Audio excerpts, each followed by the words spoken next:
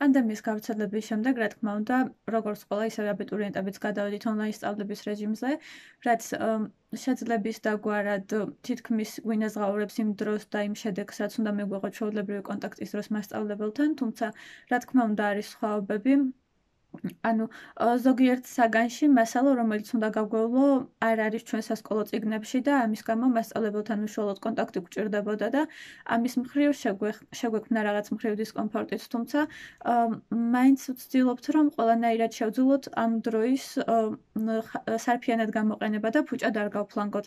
ანუ რაც გულისხმობს იმას რომ ზოგ საგანში დავიწყეთ ძველი მასალის გადამეორება რაც ხელს გვიწყობს წინარეცოდნის აღდგენაში და საგამოცდოთ უკეთ მომზადებაშიც ერთის მხრივ.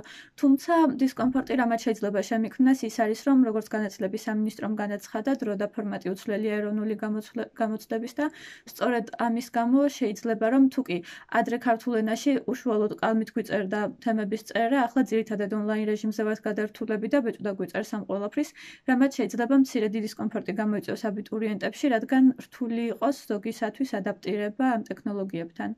რეჟიმთან მიჩვევა დიდად არც გამჭირვებია, საკმაოდ მარტივად მოახერხე ადაპტირება.